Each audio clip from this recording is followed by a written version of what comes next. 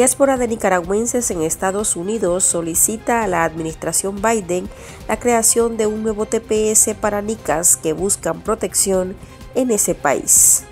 Excarcelados políticos cumplen tres meses de haber sido desterrados a Estados Unidos. En esta edición nos comparten sus experiencias. Y Real Madrid y Manchester City empatan en la ida de las semifinales de la Champions League. Aunque el conjunto blanco se adelantó en el Bernabéu, los de Guardiolas anotaron su primer tanto en el segundo tiempo. Bienvenidos al podcast ahora de Artículo 66. Les saluda Marlene Balmaceda. Y es Livia Chicanoel Pérez Miranda da inicio con las principales noticias de este martes 9 de mayo del 2023. La diáspora nicaragüense en Estados Unidos, que aglutina a líderes religiosos, activistas, escarcelados políticos, exiliados y defensores de derechos humanos, promueve una campaña en la que pide a la administración Biden-Harris, al igual que a las autoridades migratorias en la nación norteamericana, otorguen un nuevo estatus de protección temporal, conocido como TPS por sus siglas en inglés, a NICAS que residen o se encuentran con petición de protección internacional en ese país. La iniciativa insta a los ciudadanos que viven en Estados Unidos a llamar a la Casa Blanca para reiterar el llamado a que se otorgue ese TPS, que permitiría obtener a los beneficiarios permiso para vivir y trabajar en ese país sin ningún obstáculo. Las acciones del régimen de Nicaragua han tenido un impacto devastador en nuestra ciudadanía. Por esa razón, el llamado TPS para Nicaragua no es solo una cuestión de ayuda y protección humanitaria, sino también una forma de apoyar la resistencia no violenta de los nicaragüenses que buscamos la libertad, la paz y la estabilidad de nuestro país. El TPS otorgaría protección temporal y autorización de trabajo a nicaragüenses en Estados Unidos que no pueden regresar de manera segura a nuestro país de origen debido a la crisis. En lo personal me alienta el apoyo de legisladores estadounidenses, de activistas, organizaciones de derechos humanos que han abogado por el TPS para Nicaragua. Agradecemos el apoyo de la administración del presidente Biden a la comunidad de exiliados nicaragüenses, pero necesitamos más acciones. Insto respetuosamente al secretario de Seguridad Nacional, eh, que aquí llamamos Homeland Security, a que reconozca la urgencia de la situación y tome medidas inmediatas. El TPS es un programa humanitario que puede marcar la diferencia en la vida de quienes se enfrentan circunstancias extraordinarias y no pueden regresar. Así que la situación en Nicaragua, que tiene naturalmente un efecto devastador en la población en general, como es eh, a manera de ejemplo menciono, el sistema de salud, las dificultades en alimentos, en medicinas, el deterioro del sistema educativo, eh, hacen mucho más necesario un TPS, no solo como una cuestión humanitaria, sino como una forma de apoyar la resistencia pacífica, cívica y no violenta a los nicaragüenses que han tenido que emigrar a Estados Unidos y que por esa razón pedimos se suspenda a través del TPS cualquier tipo de intención de deportación. El ex reo político y líder del movimiento campesino Medardo Mairena explica que la idea de promover un nuevo TPS ayudaría a más de 300.000 migrantes nicaragüenses y además facilitaría el proceso de legalizar a perseguidos políticos no tan visibles, lo que dificulta que su situación sea evaluada con mayor premura por las autoridades estadounidenses. La idea es que eh, de alguna manera puedan eh, cada uno de los eh, de las personas que que somos perseguidos políticos podamos tener un estatus legal acá en Estados Unidos. Eh, y por eso estamos promoviendo el TPS que se vuelva a reactivar, porque es bien difícil para muchos hermanos de lucha poder demostrar a, a, las autoridades de este país de que son perseguidos políticos porque no son personas visibles, ¿verdad? Y, pero qué, me, qué mejor prueba la gran cantidad y el mar de gente que salió a marchar en el 2018. Y aunque no sean personas visibles, pero la dictadura sí de alguna manera eh, de Nicaragua se ha, se ha propuesto por enseñarse con cada uno de ellos. Ellos sí han venido vigilándonos cuadra por cuadra, barrio por barrio en nuestro país. Entonces, la única manera que se le puede ayudar a resolver el problema migratorio, que podamos trabajar de manera legal en este país, ¿verdad? reinsertarnos en la sociedad, pero también contribuir con el desarrollo de este país. En pocos días, el 11 de mayo, expira el título 42, una medida adoptada por Estados Unidos durante el gobierno de Donald Trump para controlar el ingreso irregular de ciudadanos a ese país. La norma sanitaria fue invocada para expulsar a la mayoría de los migrantes que entran por la frontera con México sin visa o documentación necesaria. El título 42 otorga a la patrulla fronteriza de Estados Unidos el poder de rechazar a las personas que buscan asilo. La administración Trump dijo en ese momento que estaba utilizando el título 42 para ayudar a detener la propagación del COVID-19 en los centros de detención de inmigrantes, donde se ubicaban muchos migrantes y solicitantes de asilo. Eh, sin embargo, muchos creemos que el título 42 se usó más bien para mantener a los solicitantes de asilo fuera del país. Y esta es una nueva razón por la cual necesitamos el TPS. Así que hoy, como último martes, antes de que expire el título 42, eh, eh, la situación de los migrantes nicaragüenses se nos vuelve más precaria. Por eso hacemos una campaña, un llamado a la acción. Este llamado a la acción incluye una campaña para llamar a la línea directa de la Casa Blanca, que es el 1888 427-0484.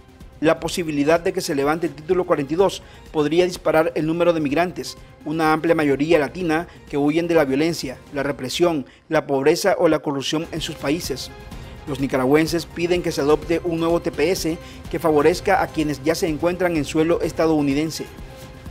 Así que antes de que expire el denominado título 42 y la situación de los migrantes nicaragüenses se haga más precaria, estamos haciendo un llamado a la acción y les pedimos que todos, como diáspora nicaragüense, como comunidad nicaragüense, como exiliados, mostremos nuestra solidaridad a nuestros hermanos y hermanas más vulnerables, llamando a la línea directa de la Casa Blanca, juntos con la diáspora nicaragüense, las iglesias, las organizaciones de derechos humanos, en sus esfuerzos por asegurar el TPS para Nicaragua y proteger los derechos y la dignidad de los nicaragüenses en Estados Unidos, podemos lograr esta meta.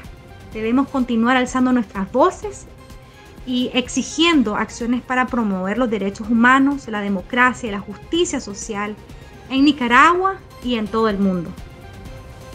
No queremos ser carga ni de la diáspora, mucho menos del Estado queremos eh, trabajar, queremos ayudar a nuestra familia, sacar adelante a nuestra familia, pero apoyar, ayudar de una vez al desarrollo de este país. Obviamente eh, nuestro mayor interés es que nos ayuden a salir de la dictadura en Nicaragua, porque si queremos regresar a nuestra patria, porque si queremos construir nuestra nación, queremos construir ese sueño que todos deseamos a Nicaragua próspera, esa Nicaragua eh, que haya justicia, que haya democracia y que podamos vivir en paz y que las nuevas generaciones tengan la oportunidad de vivir en una Nicaragua libre verdadera. Desde que se activó en 2020 hasta finales de marzo de 2023, el título 42 se invocó casi 2,8 millones de veces para expulsar a migrantes, según la Oficina de Aduanas y Protección Fronteriza.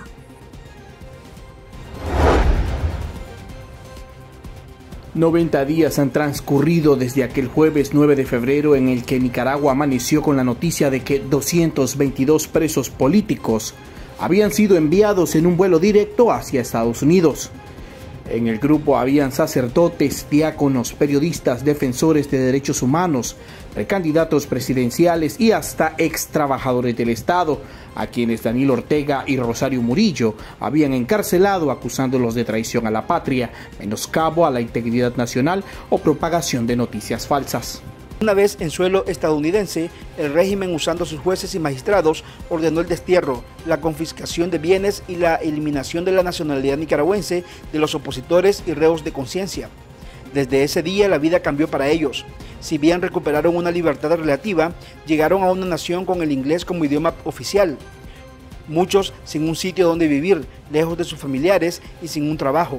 Además, arrastraban enfermedades producto del encarcelamiento arbitrario al que fueron sometidos. Irving Larios, sociólogo y economista, es uno de esos nicaragüenses que estuvo encerrado en el Chipote. Pasó detenido desde el 20 de septiembre de 2021 hasta el 9 de febrero de 2023. Irving sobrepasa los 60 años, padece de hipertensión y ácido úrico, enfermedades que no lo liberaron del aislamiento ni de las torturas psicológicas ejecutadas por policías de la Dirección de Auxilio Judicial en Managua.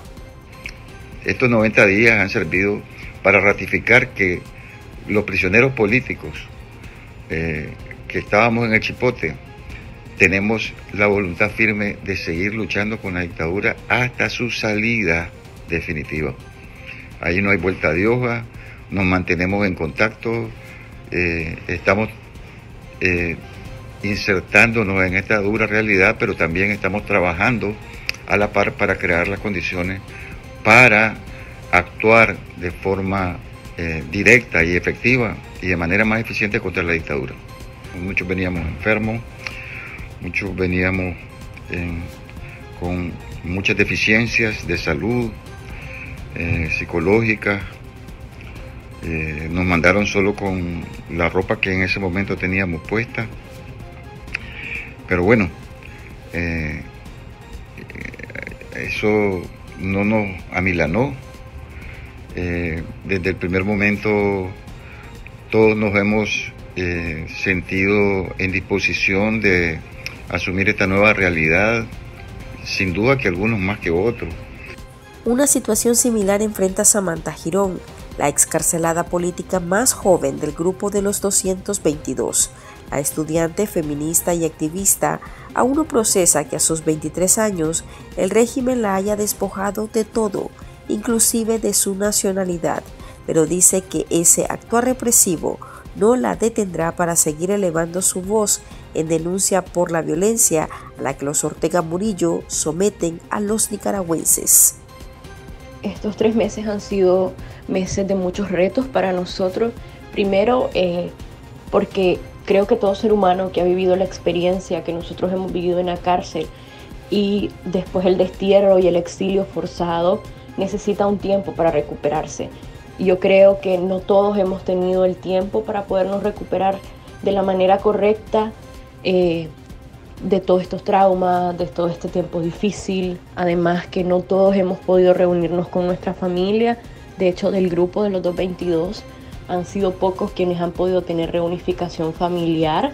Gracias a Dios, como Miguel, Tamara, eh, también Esperanza con su hijo, pero en la mayoría no. En mi caso, mi familia está exiliada en Costa Rica y realmente no sé cuándo voy a poder volverlos a ver. Eh, realmente es bien difícil porque nosotros podemos pedir a nuestra familia con un parol, pero el parol eh, es igual, tenemos que cumplir los mismos requisitos que, que cumplen las demás personas. Tenemos que buscar patrocinadores y eso se ha complicado para la mayoría del grupo eh, porque es difícil encontrar a alguien que cubra a las personas económicamente y también que cumpla con todo. Eso en primer lugar. En segundo lugar, eh, este, este país es muy burocrático con los trámites. Nosotros hemos tenido la dicha de que se ha acelerado el trámite, ya tenemos permiso laboral y social muchos de nosotros, pero también eh, tenemos el mayor reto para poder eh, entrar a trabajos buenos, ¿verdad? Por decirlo así, optar a mejores trabajos, tenemos el problema del idioma tenemos que aprender el idioma, no es lo mismo aprender inglés en Nicaragua, en una academia, que poder hablarlo y comunicarte aquí en Estados Unidos es muy diferente. Entonces creo que eso es muy importante.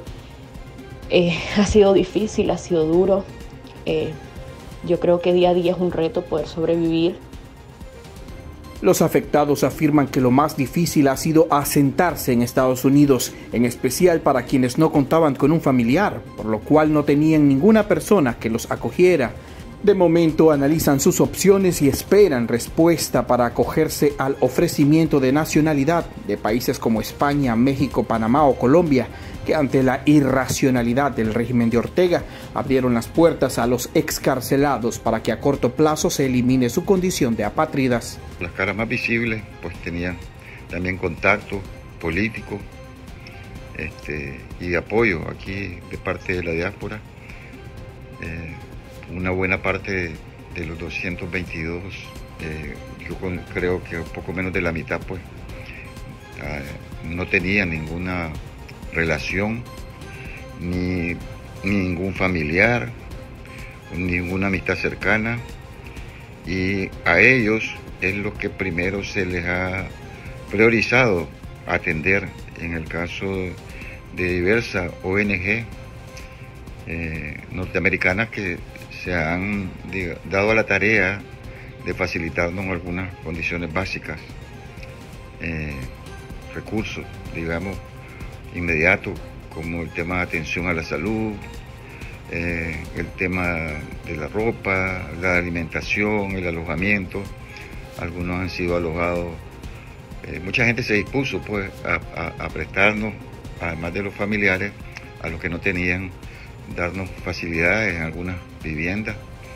Eh, ya todos hemos adelantado permisos de trabajo, todos hemos adelantado eh, eh, una identidad aquí a lo interno de los Estados Unidos y una parte estamos esperando también que el gobierno de España y otros siete gobiernos que se comprometieron a darnos posibilidades de darnos la nacionalidad lo hagan a la mayor brevedad posible. Ha sido todo un reto y también afecta pues la parte emocional y el recuperarte psicológicamente de todo Realmente, eh, como te digo, no ha dado tiempo muchas veces, no estamos en las mejores condiciones. Pues yo entiendo que quizás las personas no saben, ¿verdad?, lo que vivimos, lo que sufrimos en este país. Creen que para nosotros todo ha sido fácil y pues se equivocan, no ha sido fácil. Eh, muchos, pues, hermanos del grupo de los 222 han terminado durmiendo en las calles por días, aguantando hambre y eso pues es algo que mucha gente no sabe, que sabemos los que estamos cercanos, los que estamos en el grupo, pero se han pasado cada situación. Muchos han estado ya hospitalizados, enfermos, han salido positivos de tuberculosis. Entonces ha sido todo un reto y sigue siendo, sinceramente, poder eh, salir adelante en este país, más ahora con las leyes migratorias. Eh, hoy, de hecho, se está haciendo una campaña de aprobación del TPS y también hay una ley que fue metida por parte de los republicanos para vetar, ¿verdad?, a las personas, eliminar el parol y permitir de que no permitir que las personas que están en el territorio, entraron ilegal, puedan solicitar asilo, estas personas puedan pedir reunificación familiar y esto nos afecta de manera directa a nosotros. Entonces también el día a día, ¿verdad? Y la política estadounidense también nos afecta, ¿verdad? ¿Qué pasa? ¿Qué ocurre? Un cambio de gobierno, leyes, propuestas por parte de los republicanos, los demócratas. Es complicado. En las cárceles de Nicaragua aún hay cerca de 50 presos políticos, de acuerdo con organizaciones de la sociedad civil. Entre ellos se encuentra el obispo de Matagalpa, Monseñor Rolando Álvarez, a quien recluyeron en la modelo por negarse a abordar el avión del destierro. El Real Madrid y el Manchester City se enfrentaron en el partido de ida de las semifinales de la Champions League, en un encuentro que para expertos sabe a revancha. El primer duelo se celebró en Madrid, en la casa del conjunto blanco, en el Santiago Bernabéu. Los locales se adelantaron en el marcador al minuto 36 con un gol de Vinicius Jr. Sin embargo, en el segundo tiempo los once de Pep Guardiola alcanzaron el gol del empate. De Brunei anotaba el primer tanto para el Manchester City al minuto 67 e igualaban a los de Ancelotti. El ganador de este duelo de titanes se definirá en el partido de vuelta programado para el próximo miércoles 17 de mayo, y donde los de Guardiola esperarán en Manchester al Real Madrid para conocer al finalista de la Champions League 2022-2023. El Real Madrid es el actual campeón de la Champions y estos encuentros son calificados como una revancha por la semifinal del año pasado, donde el Club Blanco remontó una derrota en la ida y aprovechó sus últimos minutos para clasificarse. Y estas son otras noticias que usted también debería saber hoy. Este 9 de mayo, la Corte Suprema de Justicia de Nicaragua suspendió definitivamente del ejercicio de su profesión a la abogada Yonarqui Martínez, quien había sido una de las defensoras de presos políticos. Se sanciona a la licenciada Yonarqui de Los Ángeles Martínez García con suspensión definitiva del ejercicio de las profesiones de abogado y notario público a partir de la notificación de la presente sentencia se lee en la circular emitida por la justicia del régimen orteguista. Asimismo, se detalla que a la defensora se le despoja de su título de abogado y notario público. Yonarqui Martínez es una de las abogadas de presos políticos más destacadas del país. Desde inicio de la crisis social en Nicaragua, encabezó la defensa de los opositores en prisión hasta lograr su liberación por sentencia judicial o por la controversial ley de amnistía. Ha recibido amenazas de muerte, asedio, persecución, atentados en carretera y disparos contra su vivienda. Este martes se cumplen 36 días de la detención arbitraria en contra del líder juvenil Jason Salazar quien está recluido desde el 4 de abril en una de las celdas del Distrito 3 de la Policía en Managua. El movimiento universitario 19 de abril denunció que la dictadura sigue sin autorizar una visita entre Salazar y su familia. Además, señaló que el magistrado Ernesto Rodríguez tiene en su poder el expediente judicial del vicepresidente de esa organización, sin que sus parientes y defensa pueda consultarlo físicamente ni en línea, sin especificar la causa de los supuestos delitos en contra del líder juvenil. El joven de 27 años fue puesto a la orden del juzgado quinto de audiencia de Managua. El Ministerio de Salud notificó sobre 12 nuevos casos de COVID-19 en Nicaragua, tres más en comparación con la semana anterior, y en días en que la Organización Mundial de la Salud levantó la alerta por la pandemia al considerarla que ya no es riesgo mundial. Las autoridades de salud de Nicaragua solo reconocen 15.713 contagios desde que se conoció sobre el primer caso en el país en marzo de 2020. Datos de organizaciones independientes aseguran que la cantidad de personas contagiadas sobrepasó los 32.000. Por lo menos entre 3 y 4 nicaragüenses han sido diagnosticados con VIH cada día durante los primeros tres meses de este 2023. En ese número se incluyen menores de hasta 15 años, según reconoció el Ministerio de Salud de Nicaragua. El viceministro del MINSA, Enrique Beteta, dijo al medio propagandista El 19 Digital que entre enero y marzo del presente año se detectaron 340 personas con VIH, 3.7 casos diarios en edades entre 15 a 39 años, población joven, económicamente activa que necesitamos que adquieran conocimiento alrededor del tema y agregó que a nivel nacional hay unos 6.800 personas en tratamiento antirretroviral y se estima que unos 9.000 ciudadanos viven con Aquí termina el episodio de este martes. Recuerde que esta y otras noticias usted las puede leer en nuestra web www.articulo66.com. También pueden suscribirse a nuestro podcast en Spotify y seguirnos en las redes sociales como Artículo 66 y en Twitter arroba Artículo 66 Nica. Hasta la próxima.